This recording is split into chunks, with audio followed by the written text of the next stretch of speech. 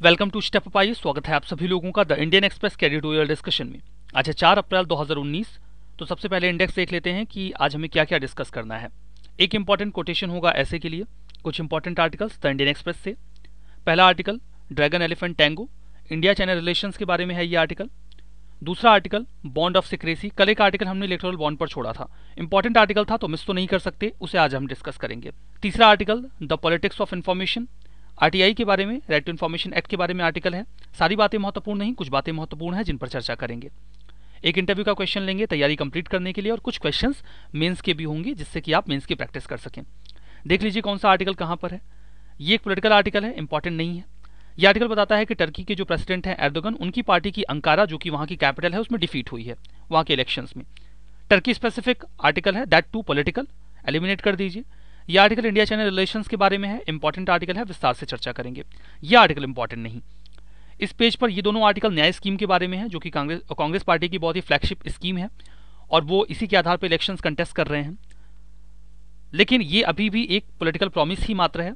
Congress party सत्ता में आती है इलेक्शन जीत कर उसके बाद वो इस स्कीम को इम्प्लीमेंट करते हैं तो ये स्कीम आए महत्वपूर्ण होगी। अभी नहीं है। तो अभी तो हम इसे डिस्कस नहीं करेंगे। ये article right to information act के बारे में है। इंपॉर्टेंट है, विस्तार से चर्चा करेंगे। आगे बढ़ते हैं। इंपॉर्टेंट कोटेशन विनोबा भावे जी का।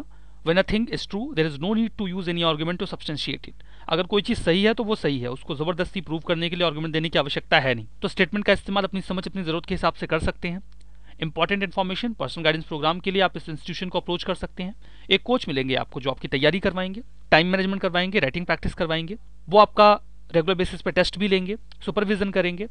टारगेट देकर सेल्फ स्टडी करवाएँगे। तो काफ़ी अच्छी हो जाती है आपकी तैयारी अगर आप कोच के अंडर में तैयारी कर रहे हैं तो। ये कॉन्टैक्ट नंबर है जिस पर आप कॉन्टैक्ट कर सकते हैं फर्दर डिटेल्स के लिए। पहला article dragon elephant tango paper two से टॉपिक को जोड़िए India and its neighbourhood relation वाले टॉपिक से। आइए बात करते हैं। देखिए, ये राइटर लिखा गया है चाइना के जो एम्बेसडर हैं इंडिया में, उनके द्वारा। तो वो कहते हैं कि उनके ओपिनियन में चाइना इंडिया के जो रिलेशन हैं, वो चार फेजेज में डिवाइडेड रहे हैं। पहला फ़ेज़ वॉज़ हनीमून पीरियड जिसमें पाँच पीसफुल को के प्रिंसिपल्स आए थे।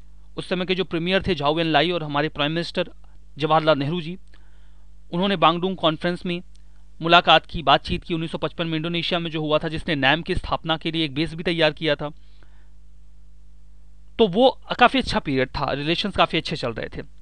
सेकेंड फ़ेज़ जब एक बॉर्डर कॉन्फ्लिक्ट हुआ 1962 में चाइना ने इंडिया के ऊपर अटैक किया, उसके बाद रिलेशन बिल्कुल ख़राब हो गए। उस पीरियड को वो कहते हैं फ्रोजन पीरियड ये पीरियड चला उन्नीस सौ बासठ से लेकर उन्नीस सौ नब्बे तक। पीरियड का टाइम मैं आपको बताता जाता हूँ। जो पहला फ़ेज़ था वो उन्नीस सौ उनचास से उन्नीस सौ बासठ। दूसरा फ़ेज़, ये जो यहाँ पर बताया गया है, उन्नीस सौ बासठ से 1990 ये सेकेंड फ़ेज़ था, जिसमें रिलेशंस काफ़ी फ्रोजन रहे, ख़राब रहे। 1970 में उसके बाद जो उस समय के चेयरमैन थे माओ जेदोंग उन्होंने हाथ मिलाया ब्रजेश मिश्रा से, जो उस समय एम्बेसडर थे इंडिया से, चाइना के लिए। उन्होंने कहा कि अब समय आ गया है कि हम रिलेशंस को सही करें, दोबारा दोस्त बने। उन्नीस सौ अट्ठासी में हमारे उस समय के जो प्राइम मिनिस्टर राजीव गांधी जी थे, उन्होंने एक आइस ब्रेकिंग विज़िट की चाइना की। उसके बाद रिलेशन इंप्रूव होना शुरू होते हैं। थर्ड फ़ेज़ था 1990 से सेवनटीन नेशनल कांग्रेस तक का समय। सेवनटीन नेशनल कांग्रेस को 2007 में आयोजित किया गया था, जो 2012 तक चला। हु जिनताओ सत्ता में आए थे। तो जो थर्ड फ़ेज़ था, वो 1990 से 1990 से 2012 के बीच का था। इसे रिकवरी पीरियड कहा गया। यहाँ पर मैंने लिखा नहीं है, आप समझ लीजिए इसे। रिकवरी पीरियड तो तीन पीरियड अभी हमने देख लिए हैं। चौथा पीरियड 2012 से अभी तक का है। इसे वो कहते हैं एक्सेलरेशन पीरियड जिसमें रिलेशंस को लगातार आगे बढ़ाने का प्रयास किया जा रहा है। हालाँकि in between Doklam stand off हुआ था 2017 में। स्टिल रिलेशंस आगे बढ़ रहे हैं। तो ये है फोर्थ पीरियड जो कि 2012 से अभी तक का है। नाव तो चार फेजेज मैंने आपको बताए। उन्नीस सौ उनचास से उन्नीस सौ बासठ हनीमून पीरियड उन्नीस सौ बासठ से उन्नीस सौ नब्बे फ्रोजन पीरियड 1990 से 2012 रिकवरी पीरियड 1912 से नाउ एक्सेलरेशन पीरियड आप इस क्लासिफिकेशन का इस्तेमाल आंसर्स में भी कर सकते हैं। ये कहते हैं पास में जो कुछ हुआ है, उसके बेसिस पे हम कुछ ऑब्जर्वेशंस बना सकते हैं इंडिया चाइना रिलेशंस के बारे में। छह ऑब्जर्वेशंस बताए गए हैं, जिनके बारे में आपको बताऊँगा। पहला ऑब्जर्वेशन ये है कि इंडिया चाइना लगातार प्रयास कर रहे हैं कि रिलेशंस को और बेहतर किया जाए। हालाँकि बीच बीच में कॉन्फ्लिक्ट्स होते हैं, लेकिन हम उन्हें अवॉइड कर कर आगे बढ़ने का प्रयास करते हैं। एक दूसरे के जो रिफॉर्म्स हैं, उनसे सीखने की कोशिश करते हैं। तो ये पहला ऑब्जर्वेशन है। दूसरा ऑब्जर्वेशन है कि जो मोमेंटम अभी इंडिया चाइना रिलेशंस के बीच में चल रहा है, वो अनस्टॉपेबल है। उसे रोका नहीं जा सकता। चार फेजेज में कई सारे अप्स एंड डाउन हमने देखे हैं। स्टिल हमने फ्रेंडली कोऑपरेशन को आगे बढ़ाया है। और फ्रेंडली कोऑपरेशन हमारा जनरल ट्रेंड रहा है। ये दूसरा ऑब्जर्वेशन तीसरा ऑब्जर्वेशन ये है कि पीपल टू पीपल जो एक्सचेंज है, वो एक एडहेसिव गोंद की तरह काम करता है इंडिया चाइना के बायोलेटरल रिलेशन के बीच में। उन्नीस सौ इक्यासी में माउंट कैलाश और लेक मानसरोवर, जो कि तिब्बत में है चाइना में, उसके पिलग्रमेज को रिज्यूम किया गया। बहुत बड़ी संख्या में इंडियन स्टूडेंट्स चाइना में पढ़ते हैं, लगभग बीस हज़ार उनकी संख्या है। Chinese food martial art movie stars को इंडिया में काफ़ी पसंद किया जाता है। बिल्कुल वैसे ही योगा दार्जिलिंग टी बॉलीवुड ये काफ़ी पसंद किए जाते हैं चाइनीज़ यंगस्टर्स के बीच में। यूनान मिंजू यूनिवर्सिटी ये इंडिया के बाहर पहली ऐसी यूनिवर्सिटी है जो कि योगा में मास्टर्स डिग्री प्रोवाइड करवाती है। जो चौथा ऑब्जर्वेशन है वो ये है कि प्रैग्मेटिक कोऑपरेशन एक बहुत ही महत्वपूर्ण चीज़ रही है इंडिया और चाइना के बीच में।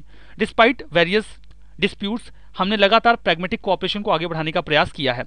2006 में चाइना इंडिया के बीच में जो एक नाथुला बॉर्डर है, जो एक ट्रेड रूट है, उसे 44 सालों बाद, जो 44 सालों से बंद पड़ा था, फिर से खोला गया।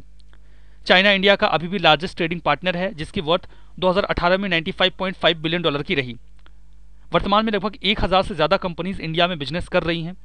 इंडिया और चाइना के जो जो चाइनीज़ मोबाइल फ़ोन ब्रांड्स हैं जियोमी वीवो ओप्पो वो इंडिया के आधा से ज़्यादा, आधे से ज़्यादा जो मोबाइल मार्केट है, उसको कैप्चर करके रखते हैं।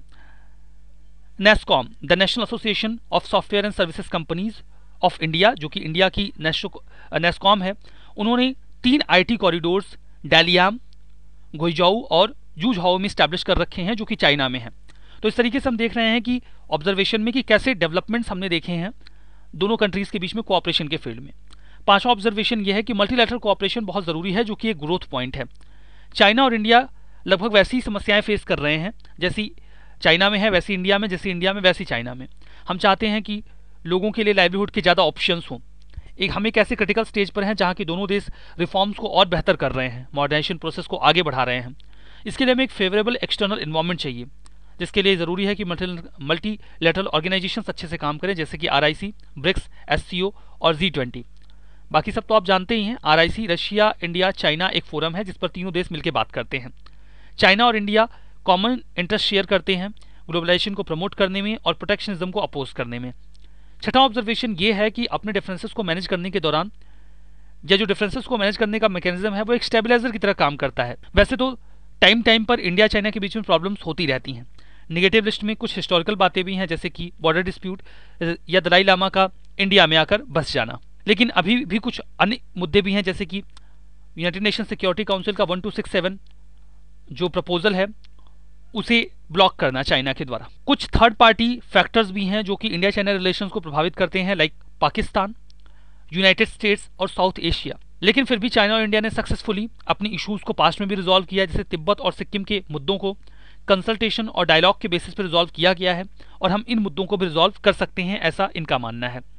चाइना और इंडिया अभी 2012 2020 में सेवेंटी एनिवर्सरी सेलिब्रेट करेंगे अपनी डिप्लोमेटिक रिलेशंस की। रेटर कहते हैं कि वो बिलीव करते हैं कि जो दो इंसेंट सिविलाइजेशंस हैं, उनके पास एबिलिटी भी है और विजडम भी है कि वो रास्ते निकाल सकते हैं कि वो कैसे दो बहुत ही महत्वपूर्ण नेबरिंग कंट्रीज़ बन सकते हैं, जिसे हम, जहाँ पर हम एक ड्रैगन एलिफेंट टैंगो देख पाएँगे। Tango is a kind of dual dance couple dance जो आपने कई बार मूवीज़ वगैरह में देखा भी होगा। इसका ओरिजिन अर्जेंटीना से है। तो एक ऐसा इमेजिनेशन कर रहे हैं कि ड्रैगन और एलिफेंट एक साथ डांस कर रहे हैं और हम एक एशियन सेंचुरी का निर्माण कर पाएँगे, जिसे लीड करेंगे इंडिया और चाइना। तो ये पूरा आर्टिकल हमने यहाँ पर देखा। क्वेश्चन मीन्स के लिए critical examine the effectiveness and ability of India and China to address the critical issues between them दो शब्दों में क्वेश्चन को रिप्लाई करिए। अगला आर्टिकल देखते हैं bonds of secrecy paper two से टॉपिक को जोड़िए। Important aspect of governance transparency and accountability वाले सेक्शन से। सबसे पहले तो ये देख लीजिए कि इलेक्ट्रल बॉन्ड्स काम कैसे करते हैं। कुछ नोटिफाइड बैंक्स को चुना जाता है जो इलेक्ट्रल बॉन्ड्स को इशू करते हैं। एक डोनर या बायर वो जाता है और कुछ जो भी वो पैसे पे करना चाहता है किसी पोलिटिकल पार्टी को, उसका भुगतान वो बैंक में चेक या डिजिटल पेमेंट के ज़रिए करता है और इलेक्टोरल बॉन्ड खरीद लेता है। इलेक्टोरल बॉन्ड वो व्यक्ति अपनी मर्ज़ी से किसी पार्टी को दे सकता है एक स्पेसिफाइड टाइम फ्रेम में। इसका thirty days forty five days का टाइम पीरियड होता है जिसमें उन्हें देना होता है इस बॉन्ड को। इसमें उन्हें कोई इंटरेस्ट रेट वगैरह नहीं मिलता है। और इस बॉन्ड पर उनका नाम नहीं होता। केवल एक सीरियल नंबर होता है। इससे ये पता नहीं लगाया जा सकता कि आखिर ये बॉन्ड किसने खरीदा है या पोलिटिकल पार्टी को किसने दिया है। पार्टी उस बॉन्ड को सीधा बैंक अकाउंट में अपने डिपॉजिट कर देती है, वो पैसे उनके अकाउंट में आ जाते हैं। तो ये इलेक्ट्रल बॉन्ड का प्रोसेस है। यहाँ पर एक बात महत्वपूर्ण है जो आपने देखा होगा कि किस व्यक्ति ने उस बॉन्ड को खरीदा है, इस बात का अंदाज़ा नहीं लगाया जा सकता। इसी पर इस आर्टिकल को राइटर के द्वारा लिखा गया है और वो इस पहल को क्रिटिसाइज कर रहे हैं। उनका ये मानना है कि जो इलेक्ट्रोल बॉन्ड है, अभी देखिए वो काफ़ी अट्रैक्शन देखा जा रहा है इलेक्ट्रोल बॉन्ड को लेकर, चूँकि जनरल इलेक्शंस आ गए हैं। ये बॉन्ड्स का मैकेनिज्म 2017 में शुरू किया गया था, एक फाइनेंस बिल के ज़रिए। एग्ज़ाम्पल के तौर पे जो सेक्शन मतलब इसमें एक अमेंडमेंट किया गया था आरबीआई एक्ट में। जो आरबीआई एक्ट 1924 है, उसके सेक्शन 31 में अमेंडमेंट करके क्लॉज थ्री जोड़ा गया था, जिसने इलेक्ट्रल बॉन्ड के इस मैकेनिज्म को अलाउ किया। ये जो अमेंडमेंट था, इसे एक मनी बिल के तौर पर प्रपोज किया गया था। जबकि समझने वाली बात यह है कि आरबीआई एक्ट खुद मनी बिल नहीं था। तो ये कॉन्ट्रोडक्शन वाला मुद्दा है कि क्या किसी ऐसे कानून को, या किसी एक ऐसे कानून में जो कि खुद मनी बिल नहीं था अमेंडमेंट करते वक्त मनी बिल की तरह प्रपोज किया जाएगा। तो ये तो एक कॉन्ट्रोवर्शियल मुद्दा है कि जब आरबीआई एक्ट मनी बिल नहीं था तो अमेंडमेंट कैसे मनी बिल के तौर पर प्रपोज किया गया? लेकिन हम इस मुद्दे को ज्यों का त्यों छोड़ देते हैं, उस पर नहीं जाते क्योंकि हमारा मुद्दा कुछ और है। हम तो इलेक्ट्रोल बॉन्ड की बात कर रहे हैं। ये बिल मनी बिल था या नहीं था, हम इस पर थोड़ी बात कर रहे हैं। तो देखिए, इस बॉन्ड का एक मेजर ऑब्जेक्टिव ये था कि जो डोनर की आइडेंटिटी है पोलिटिकल फंडिंग जो कर रहा है, उसे छुपा लिया जाए, ताकि उसके हित सुरक्षित रहें। इंडिया में पोलिटिकल पार्टीज़ इलेक्शन कैंपेन के दौरान काफ़ी पैसा खर्च करती हैं, और ये पैसे उन्हें कॉर्पोरेट हाउसेस और वेल्दी इंडिविजुअल्स से मिलते हैं। पोलिटिकल पार्टीज़ के जो खर्चे हैं, उसे वो अपने मेंबरशिप फ़ीस से कभी पूरा नहीं कर सकते। इसीलिए वो अपने इस खर्चे के लिए कॉर्पोरेट्स पर डिपेंड करते हैं, जो बहुत बड़ी मात्रा में पैसे उन्हें पे करते हैं।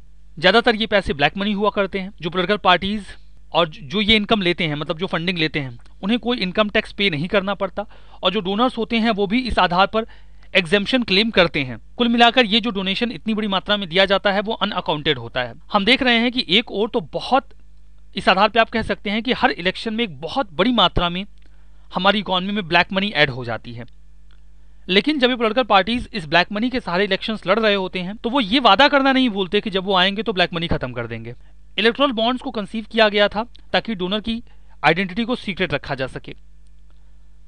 इसीलिए जो बायर होता है, उसका नाम उस बॉन्ड पर नहीं होता। डोनर के कुछ जेन्युइन फियर्स भी हैं कि सपोज़ करिए, ये पर्सन ए है पार्टी एक्स और पार्टी वाई पार्टी जेड ये इलेक्शन कंटेस्ट कर रहे हैं। पर्सन ए ने पार्टी एक्स को फंड किया। पार्टी वाई को इस बात की जानकारी है। पार्टी वाई सत्ता में आ जाती है।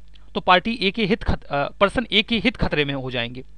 तो उसके हितों को सुरक्षित रखने के लिए प्रावधान किया गया था। लेकिन प्रैक्टिकल बात यह है कि जो पार्टी सत्ता में होगी उसके लिए इस इन्फॉर्मेशन को एक्सेस करना बहुत आसान होगा।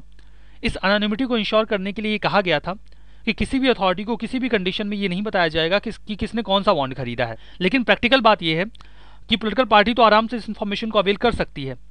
तो मुद्दा ये होगा कि जो अपोजिशन में होंगे उनके लिए बड़ा मुश्किल होगा फंड को एक्सेस कर पाना। जबकि जो रूलिंग पार्टी है वो बड़े आराम से फंड को एक्सेस कर लेगी। तो हम इस आधार पर कह सकते हैं कि दो ऑब्जेक्टिव रहे इलेक्टोरल बॉन्ड के। दोनों ऑब्जेक्टिव्स नोटेड नहीं है मतलब ये तो राइटर का ओपिनियन है, वो अपने हिसाब से बता रहे हैं। पहला तो जो सीक्रेसी है उसे मेंटेन किया जाए डोनर की, ये तो जेनुइन है, ये जेनुइन ऑब्जेक्टिव है। दूसरा ऑब्जेक्टिव राइटर अपनी ओर से बता रहे हैं कि जो रूलिंग पार्टी है वो ज़्यादा से ज़्यादा डोनेशन अवेल कर सके और अपोजिशन पार्टीज़ को कुछ भी ना मिले। तो ये उनका ओपिनियन है, ये इस इलेक्ट्रोल बॉन्ड का जेन्यून ऑब्जेक्टिव नहीं है। देखिए, मुद्दा यह है कि कोई ऐसा प्रावधान जो कि ट्रांसपेरेंसी को खत्म करना, करता हो, उसके लिए कानून नहीं बनाया जाना चाहिए। क्योंकि ये डेमोक्रेटिक डेमोक्रेटिक पब्लिक पॉलिसी का बहुत ही फंडामेंटल एस्पेक्ट है। लेजिस्लेचर कॉन्फिडेंशियलिटी प्रोवाइड करवा सकते हैं किसी स्टेट सीक्रेट को, जो ज़रूरी हो, हमारे नेशनल इंटरेस्ट में हो पब्लिक इंटरेस्ट में हो। आप सीक्रेसी दे सकते हैं उसे, कोई कानून बनाकर। लेकिन पॉलिटिकल फंडिंग को ये गलत है, क्योंकि यहाँ पे स्टेट इन्वॉल्व नहीं है। यहाँ पे तो प्राइवेट इंडिविजुअल्स और प्राइवेट कंपनीज़ इन्वॉल्व हैं। इससे कोई पब्लिक इंटरेस्ट भी सर्व नहीं हो रहा है। इनफैक्ट पब्लिक इंटरेस्ट खतरे में ही पड़ रहा है। सेक्शन 29 का जो क्लॉज सी है आरपीए एक्ट 1951 का, वो ये कहता है कि हर पोलिटिकल पार्टी इलेक्शन कमीशन को उन्होंने जो खर्चा किया है, उसका रिपोर्ट सौंपेंगे। उसमें वो ये बताएँगे कि अगर किसी व्यक्ति ने बीस हज़ार से ज़्यादा उन्हें फंड किया है तो वो कौन है? लेकिन इलेक्ट्रल बॉन्ड के आने के बाद ये कंपल्शन भी खत्म कर दिया गया है, क्योंकि अब तो नाम ही नहीं रहेगा बॉन्ड पर। तो कैसे बताएँगे कि पैसे किसने दिए हैं? तो ये काफ़ी गलत अप्रोच है। राइटर का ऐसा मानना है। कंक्लूजन में बोला गया है कि जो अमेंडमेंट किया गया है 20 सेक्शन 29 क्लॉज सी में, ये पब्लिक पॉलिसी जो ट्रांसपेरेंसी की है उसके खिलाफ है। इसीलिए अनकॉन्स्टिट्यूशनल डिक्लेयर किया जाना चाहिए। आरटीआई एक्ट 2005 डिक्लेयर करता है कि डेमोक्रेसी के लिए ज़रूरी है कि सिटीजन्स जो हैं वो इन्फॉर्म्ड हों और इन्फॉर्मेशन को अवेल करने में ट्रांसपेरेंसी हो। उसके बाद राइटर अपना ओपिनियन देते हैं कि कोई भी एग्जीक्यूटिव एक्ट जो कि ट्रांसपेरेंसी को ख़त्म करता है, उसे एंटी डेमोक्रेटिक और पब्लिक इंटरेस्ट के खिलाफ माना जाना चाहिए। तो ये पूरा आर्टिकल हमने देखा।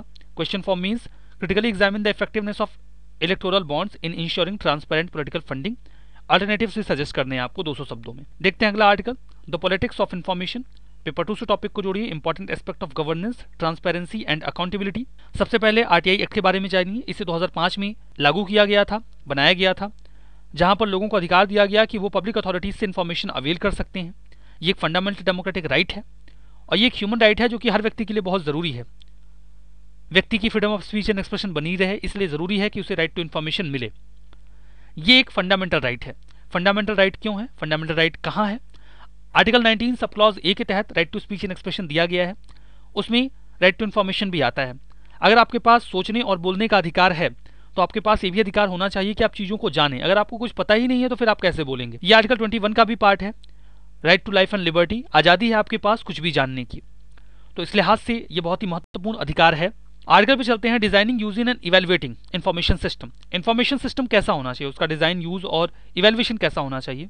ये तो इस बात पर डिपेंड करता है कि आप इस पूरे मुद्दे को किस परसेप्शन से देख रहे हैं, किस परस्पेक्टिव से देख रहे हैं। इन्फॉर्मेशन सिस्टम जो सोशो इकोनॉमिक ट्रांसफॉर्मेशन को स्ट्रेंदन करे स्ट्रॉन्ग करे, वहाँ पर एक्टिव पब्लिक पार्टिसिपेशन ज़रूर होना चाहिए। लोगों का पार्टिसिपेशन ज़रूर होना चाहिए। जो डिजिटल टूल हैं, उन्होंने लोगों को इस पूरे सिस्टम से कहीं ना कहीं दूर कर दिया है। उदाहरण के तौर पे मनरेगा।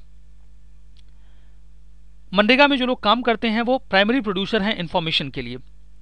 लेकिन इस पूरे इन्फॉर्मेशन सिस्टम में उनका कहीं कोई पार्टिसिपेशन नहीं होता। आज एक इंडिविजुअल पूरी तरीके से ट्रांसपेरेंट है स्टेट के लिए भी और मार्केट के लिए भी। राज्य आपके बारे में सब कुछ जानता है। आधार इसका बहुत ही पावरफुल एग्ज़ाम्पल है। वो आपके फिंगर प्रिंट्स को भी जानते हैं। लेकिन आप सरकार के बारे में क्या जानते हैं?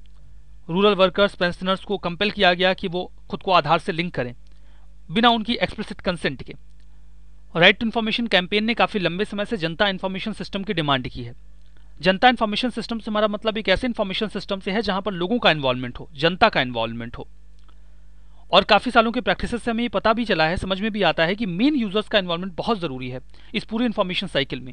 इन्फॉर्मेशन को कलेक्ट करना कोलाइड करना डिस्क्लोज करना, इन सभी में लोगों का इन्वॉल्वमेंट हो, ये बहुत ज़रूरी है। इस दिशा में काफ़ी कुछ किया भी गया है, जिसके बाद कोशिश की गई कि इस थ्री को प्रैक्टिस में लाया जाए। उदाहरण के तौर पे डीओआईटी यानी कि डिपार्टमेंट ऑफ़ इंफॉर्मेशन टेक्नोलॉजी और राजस्थान सरकार ने एक कंसोर्टियम के साथ इंगेजमेंट किया। ये कंसोर्टियम एक सिविल सोसाइटी ऑर्गेनाइजेशन का था, जो काम कर रहे थे कई सारे इश्यूज़ पर like MNREGA, ration card land rights mining education health पिछले कई सालों से दिशा में काम कर रहे थे। उनके साथ एक कोलिजन किया गया।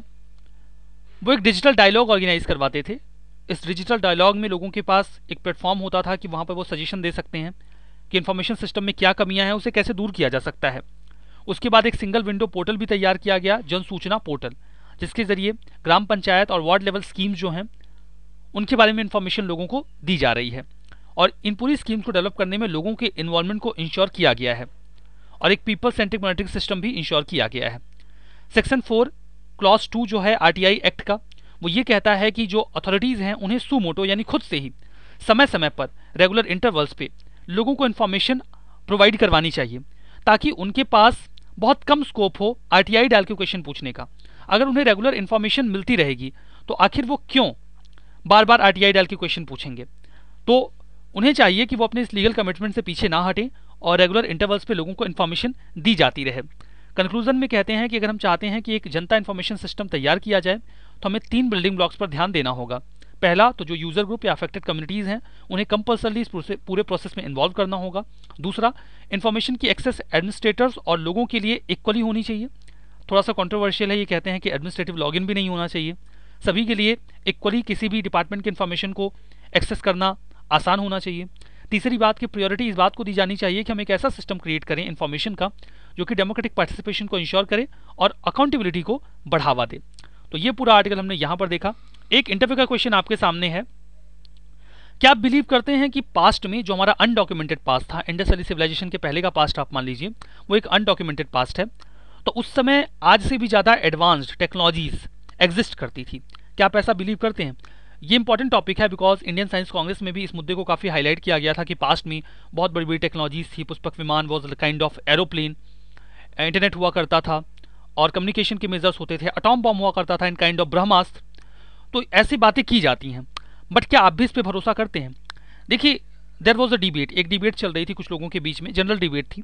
Usually I do not like to involve in kind of debate which does not have any relevant substance तो वो डिबेट एक्चुअली में इरेलीवेंट बातों पर ही चल रही थी बट सडनली इस मुद्दे पर बात शुरू हो गई कि पास्ट में कौन कौन सी टेक्नोलॉजीज़ एग्जिस्ट कर रही थी। कुछ लोग इसका समर्थन कर रहे थे, कुछ लोग इसका विरोध कर रहे थे। I usually keep quiet and listen to in such a debate मैं ऐसी डिबेट्स में सुनना प्रेफर करता हूँ, बजाय इसके कि मैं इन्वॉल्व हूँ और कुछ बोलूँ। तो मैं सुन रहा था बातों को जो लोग कर रहे थे। बाकी सारी बातें तो इधर उधर की ही चल रही थी बट एक व्यक्ति ने एक आर्गूमेंट दिया जिसमें थोड़ा सा सब्सटेंस था, कुछ रेलेवेंसी थी। उस व्यक्ति ने क्या बात कही वो मैं आपको बताना चाहूँगा। उस व्यक्ति ने बात कही।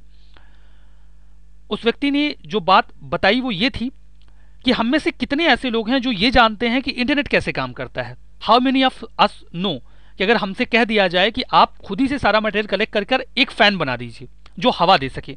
बड़ी सामान्य सी चीज़ है ना, हम सभी लोगों के घरों में होती है। लेकिन क्या हम और आप जानते हैं कि ये फ़ैन कैसे बनता है और कैसे काम करता है?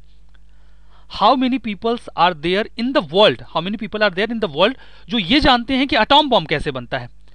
और हम में से कितने लोग ऐसे जान ऐसे हैं जो जानते हैं कि एरोप्लेन कैसे बनता है, जो हवा में उड़ सकता है हेलीकॉप्टर्स कैसे बनते हैं? सपोज़ करिए कोई मैसिव डिस्ट्रक्शन हो, जैसा कि 2012 हॉलीवुड मूवी में दिखाया गया।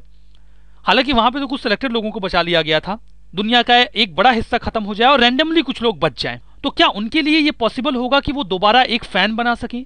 वो एक एरोप्लेन बना सकें या वो एक अटॉम बॉम्ब डेवलप कर सकें, बना सकें। तो उनके लिए और उनके आने वाली पीढ़ियों के लिए या उनकी आने वाली पीढ़ियों के लिए ये सारी बातें एक इमेजिनरी बातें होंगी, जो कभी एग्जिस्ट ही नहीं करती थी, क्योंकि उनके लिए डेवलपमेंट फिर से स्टार्ट होगा। इंडस वैली सिविलाइजेशन कैसे कोलैप्स की थी, किसी को नहीं पता है। सब गैस लगाते हैं कैसे कोलैप्स की थी। तो अगर उसके पहले कुछ ऐसा एग्जिस्ट करता भी था, और उसके पहले की सिविलाइजेशन सडनली किसी कारण से कोलैप्स कर गई, और ऐसे इंटेलेक्चुअल्स जो इन चीज़ों के बारे में जानते थे वो किसी कारणवश खत्म हो गए, नहीं रह गए, या अपनी इस इंफॉर्मेशन को आगे की पीढ़ी को ट्रांसफ़र नहीं कर पाए। तो डेफिनेटली वो हमारे लिए इमेजिनरी बातें होंगी। तो बहुत सामान्य सी बात है ये। तो ये तो उस व्यक्ति की बात है। इस आर्ग्यूमेंट को देकर मैं ऐसा साबित करने का बिल्कुल प्रयास नहीं कर रहा हूँ कि पास्ट में ऐसी टेक्नोलॉजीज़ एग्जिस्ट करती थी। ये सिर्फ़ एक व्यक्ति का विचार है और मैं चाहता हूँ कि आप भी इस पर अपना विचार व्यक्त करें। वो पॉजिटिव हो सकता है निगेटिव हो सकता है। ये बकवास की बात हो सकती है या फिर लॉजिकल बात हो सकती है? आप अपना विचार कमेंट बॉक्स में दें। कम से कम विचार ज़रूर दें। ये हमारा सेशन यहाँ पर समाप्त होता है। Thanks for watching this discussion